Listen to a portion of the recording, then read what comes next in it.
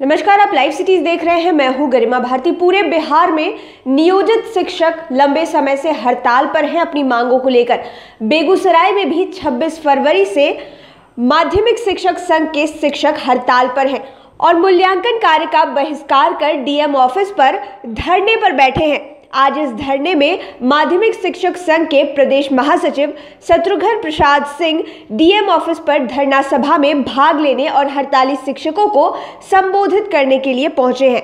जरा सुनिए शत्रुघ्न सिंह क्या कुछ कह रहे हैं। पागल आपकी नौकरशाही है।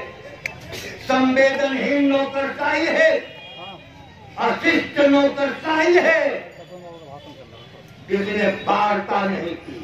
और वार्ता आपने नहीं करने की।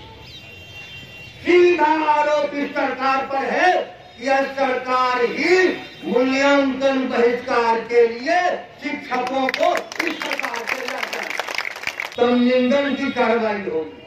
तब निलंबन अब भारी तानाशाह सीधे निलंबित। हम किसी के घर में घुसे थे मालिक के बलात्कारी थे। जो अपराधी है बलात्कारी है तो तुम उसको पकड़ते नहीं हो। जो दंगा फैलाता है, जो उन्माद फैलाता है, तुम उस पर एफ़ नहीं करते हो। और हम शिक्षक, हम राष्ट्र निर्माता, हम राष्ट्र के भविष्य का निर्माण करते हैं। खबरदार यदि हाथ उठाया हमारे शिक्षकों पर। लड़ेंगे, अंतिम दम तक लड़ेंगे, जब तक दंडात्मक कार्रवाई वापस नहीं हो।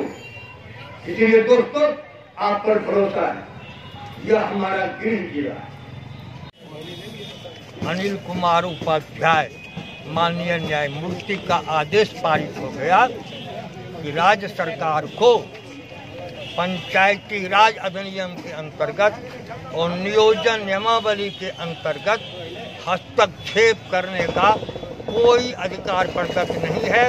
ये सरकार कानून का उल्लंघन कर रही है और जो हड़ताल पूरे राज्य में चल रही है इससे पठन पाठन ठप है कि स्थिति की गंभीरता को सरकार महसूस करे।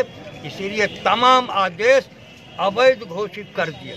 तो सुना आपने शत्रुघ्न सिंह का कहना है कि सरकार के अधिकारी तानाशाही हैं और उनके कारण वार्ता नहीं हो पाए। इस कारण मूल्यांकन कार्य का बहिष्कार कर शिक्षक हड़ताल पर है। महासचिव ने कहा कि शिक्षकों पर नियम के विरुद्ध निलंबन और प्राथमिकी की कार्रवाई की गई है।